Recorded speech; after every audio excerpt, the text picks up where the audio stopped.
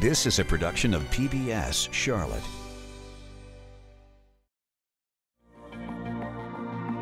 American Graduate Getting to Work is made possible by the Corporation for Public Broadcasting.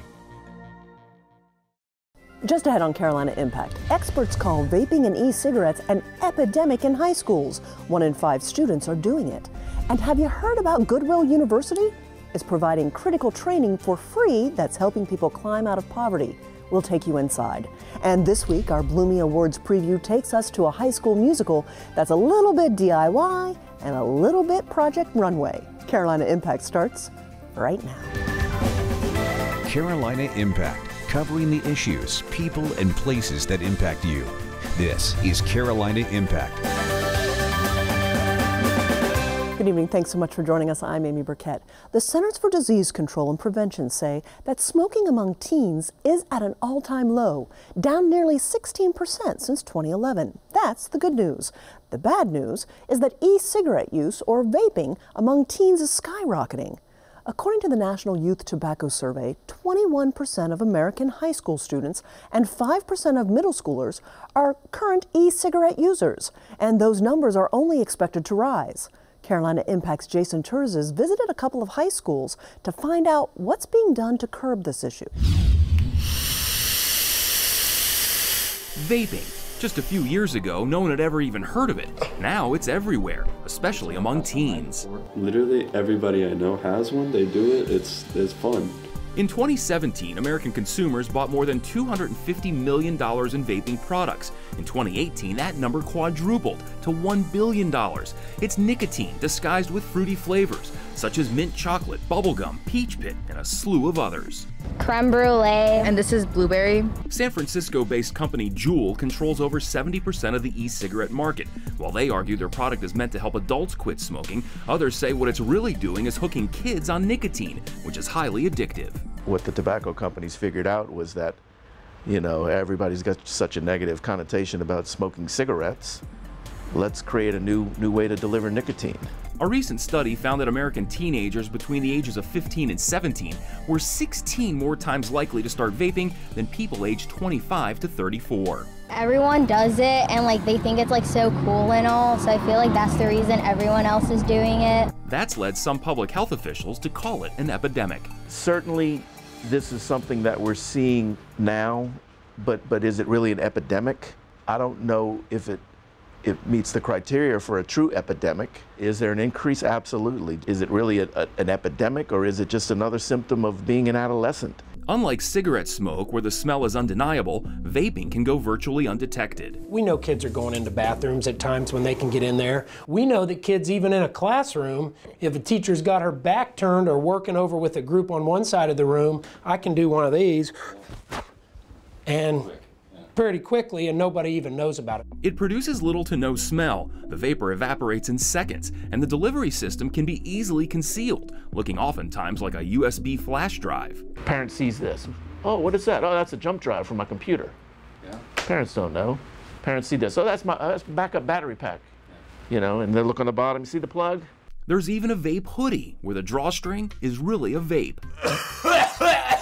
you do have products out there that they can incorporate marijuana or THC into that and be using that as a way to get high while they're at school. Yeah. Uh, and you can't really pick up on the odor of it because it's masked by the liquid that's inside the vape product itself. At Myers Park High School, Dean of Students Pete Geis has bags and bags full of vaping supplies, all confiscated from students over the last couple of years.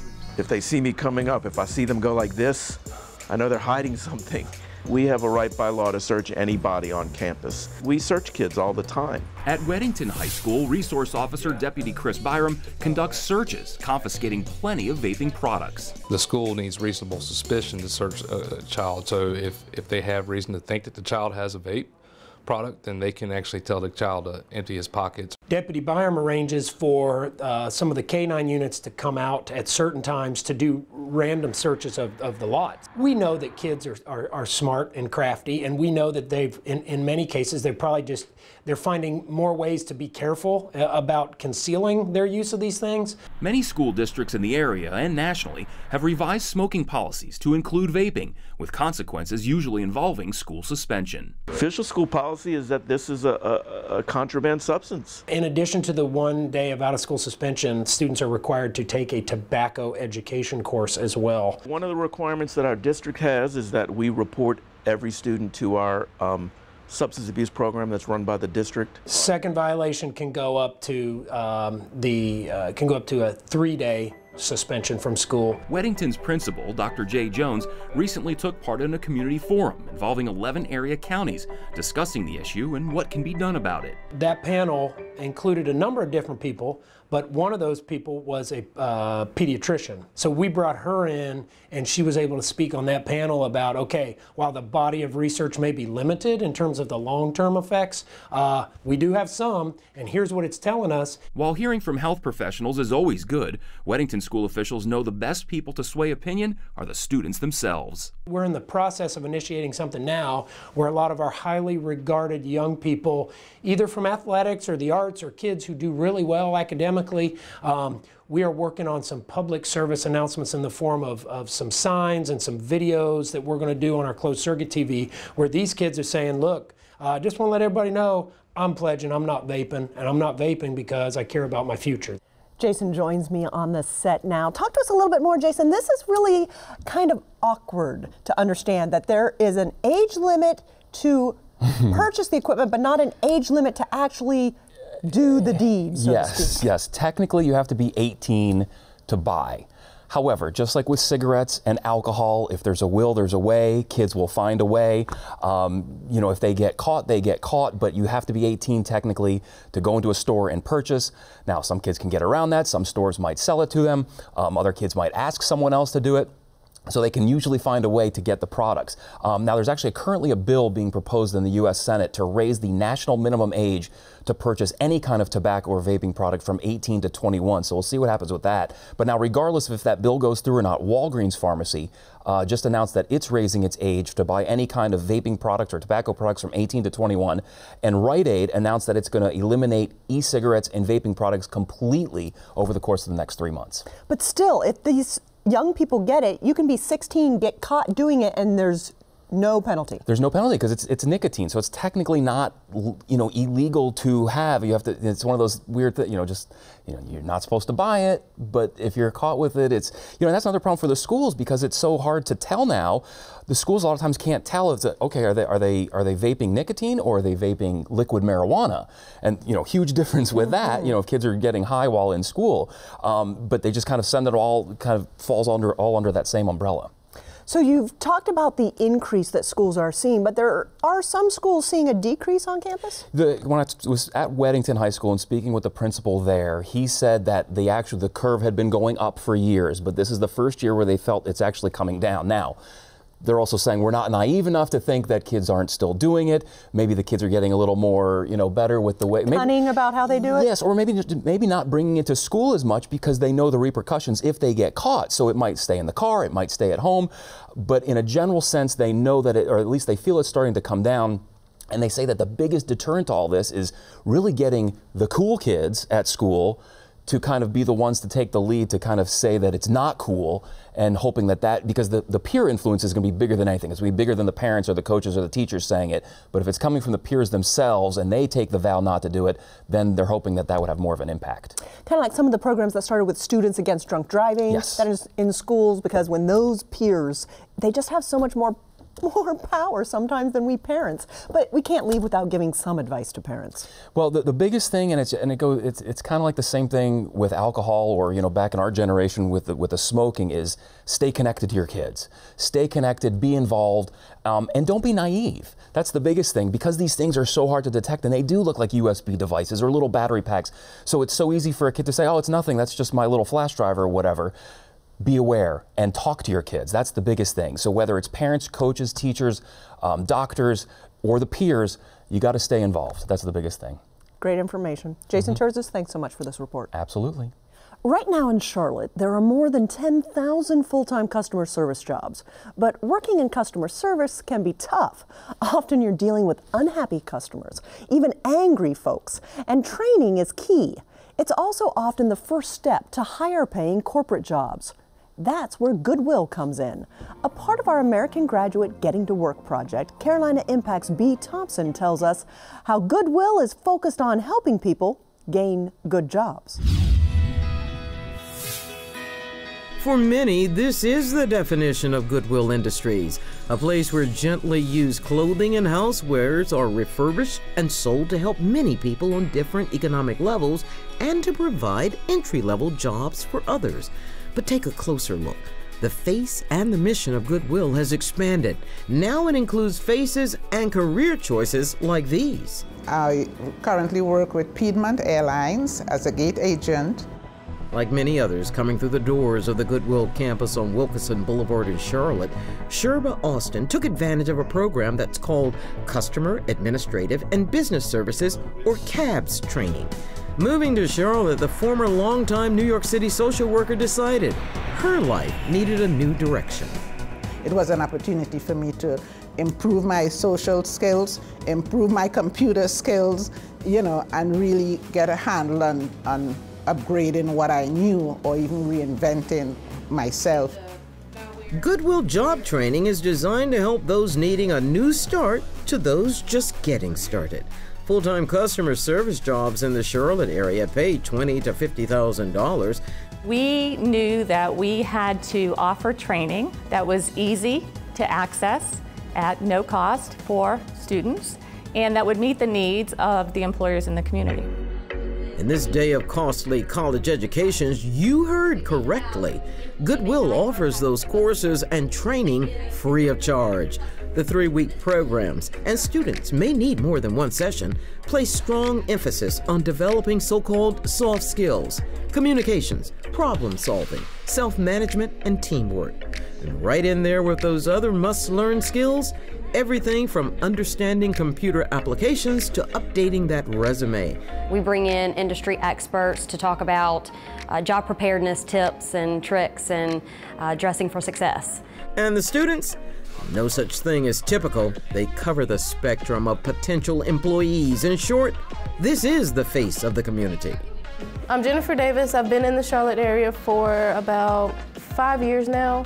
I'm looking to become an IT specialist. I'm Christian Byer. I'm 18 years old. I'm very inexperienced at you know, jobs and everything because I really haven't had my first job yet. Uh, my name is Serenity Williams. Um, I'm 19. I'm, I just graduated 2018. Okay, how long is that going to take? In the classroom setting, they role play, sharpening their skills, and they attend job fairs with potential employers, businesses that partner with Goodwill to find employees that fit their needs particularly in customer service and information technology. And in talking to those employers, we really asked a lot of questions about what are the skills that your applicants don't seem to have? What are the skills needed to fill the jobs that are open? And the jobs cover a gamut. Service industry can mean working in retail, or at the airport, or in IT in an office. Goodwill's courses provide the training that allows student clients to cross over into many fields. Problem solving skills, communication skills, networking skills, uh, the ability to work in a team environment. Those are those transferable skills that I think employers they really they really want. So in addition to the set skills that they have on the resume, they have to show up with these transferable skills as well. As the face of employment changes, Goodwill is changing to meet the needs of the community, not only from the employer's perspective, but for the changing students who now need the skills Goodwill can help them attain. For students, that approach has meant a turnaround in life. Became a little discouraging after a while, but now that I'm back on the right track and you know I'm going to have the the experience that I need to be able to, you know, get these jobs, uh, you know, I'm not going to be discouraged anymore. Just empowerment. For Carolina Impact, I'm B. Thompson reporting. Thanks so much, Bee. The job training goes on year round at Goodwill University on Wilkinson Boulevard. There's a cafe as well as a child care center there. Go to our website at pbscharlotte.org on our Carolina Impact page for more details. Well, what does studying history mean to you? It certainly can mean memorizing dates or people's names, but what about natural history? What do you think it was like to live in this region a hundred years ago? There's a special museum in Gastonia that answers all those questions and more in an engaging way. Our Trail of History producer John Branscombe takes us inside the Schiele Museum.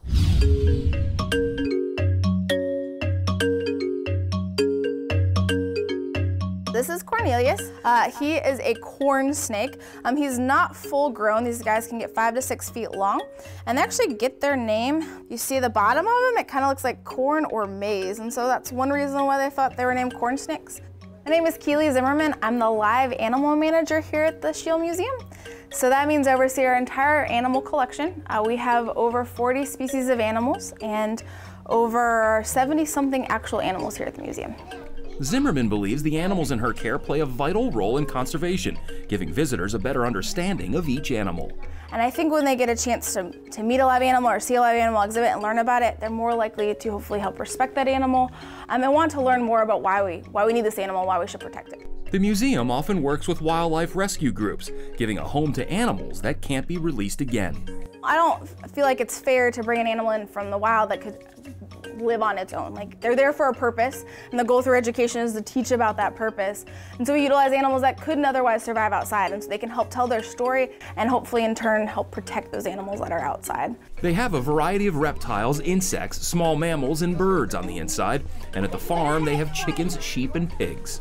One of the latest additions to Zimmerman's care makes their home in what looks like a tiny moon base, Costa Rican leaf cutter ants. What I think is super awesome about them is it's just such a cool thing to look up close at. I mean, you can see them cutting those leaves, you can see them moving them, you can see everything happening step by step by step.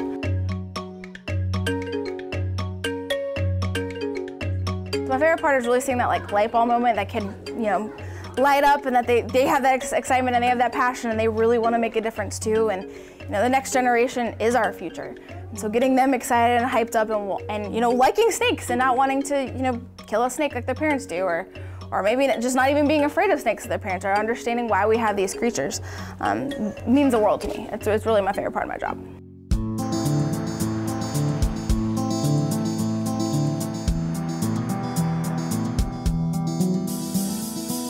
Blending of history, science, and culture are in the DNA of the Schiele Museum of Natural History.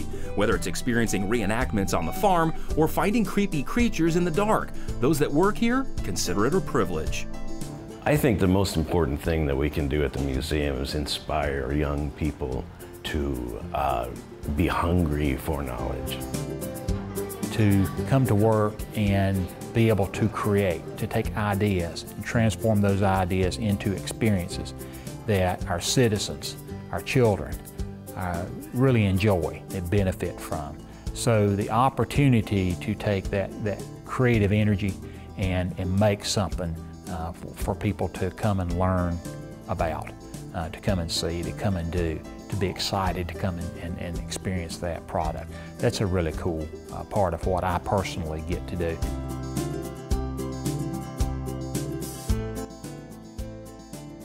Uh, it would not be here if it hadn't been for the support of this community, which says to me that this is a place that's been fulfilling the, the needs of our families and our students for a very long time, and it's been a great pleasure to be part of that. Mr. Schiele left a wonderful gift uh, in his enthusiasm for the natural world and his interest in the natural world. Um, he has been an inspiration to this community, even for those that never knew him and don't know anything about him. In seeing the museum that grew from his original work, from what he and Lily did, from what they loved, from what they collected, this museum uh, has grown and flourished. And the citizens today, many of which are very far removed from the Schieles, continue to benefit from their interest and their legacy.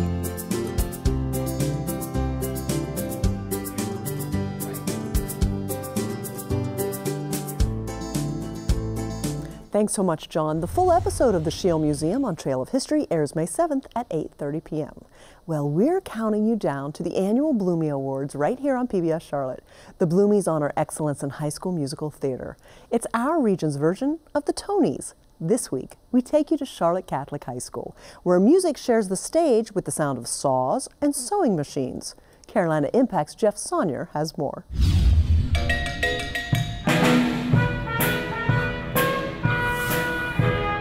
When the curtain opens here at Charlotte Catholic, there's not always an audience on the other side. Could you guys give us some space over here? Could you just shoot basketball on that side? But theater director Marcus Ryder smiles and figures, you know, the show must go on. And when his theater kids without a theater are performing on their stage here in the gym, alongside PE classes and team practices, well, you know, it is it is what it is. I think we do some of the some of our best work underneath that pressure. Don't rely on all I said I saw. This year, their best work is the musical Joseph and the Technicolor Dreamcoat, with senior Andrew Mann in the title role of Joseph.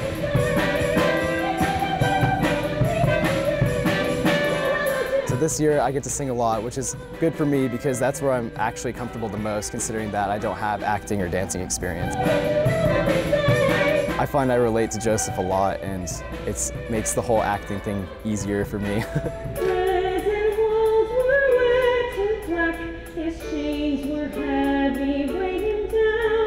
Junior Gracie Kunick also shares the spotlight, hitting the high notes as one of the musical's narrators.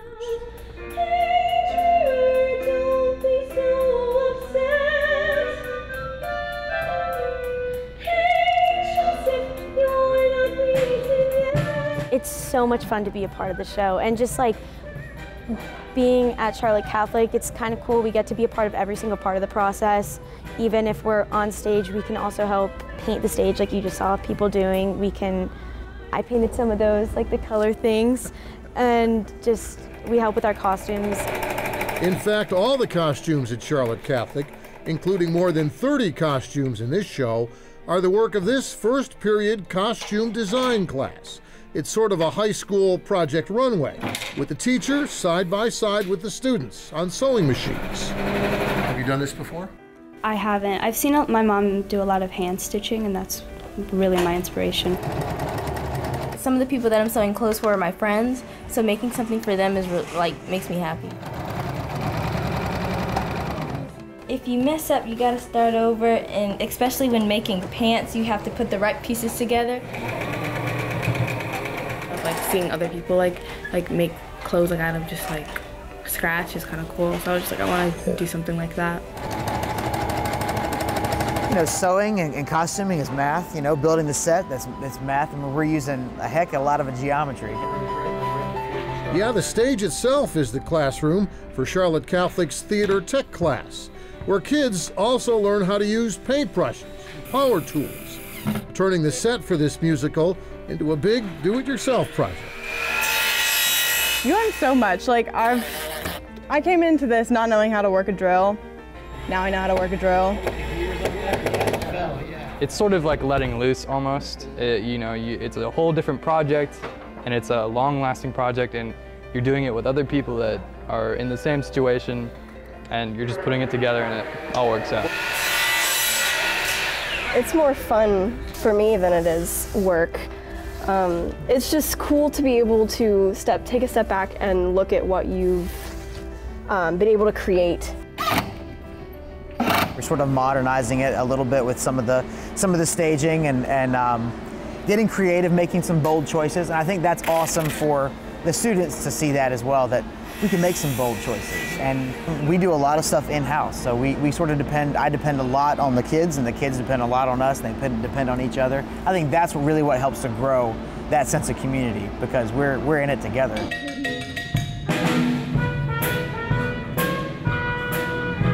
And even if what they have here at Charlotte Catholic is just a stage in a gym and not an actual theater, well, it's still the theater and their theater. And that makes all this work on the costumes, on the set, on the stage, all worthwhile. It's like a feeling when you get on stage and it doesn't really matter that anyone else is like watching you. It's like, it's just you. you work on a lot of things and you put it all together and then you take a step back at the very end and you look at what you, you've done as a team. It's really, it's incredible. Really never a, a, talk about I'm so nervous. There's no no one's really ever that nervous because they've they've been through the trenches and they're ready to do it. That doesn't bother us. We have that spirit of Charlotte Catholic where we take on the challenge and we overcome it.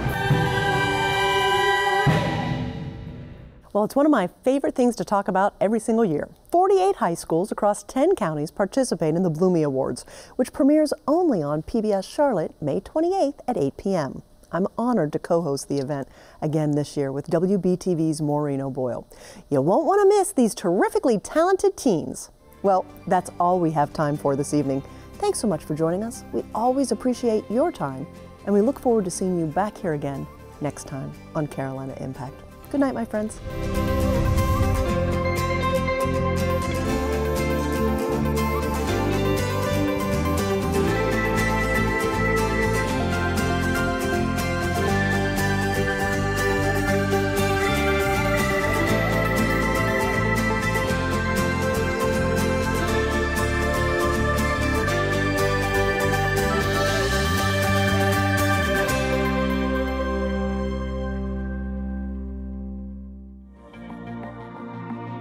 American Graduate Getting to Work is made possible by the Corporation for Public Broadcasting.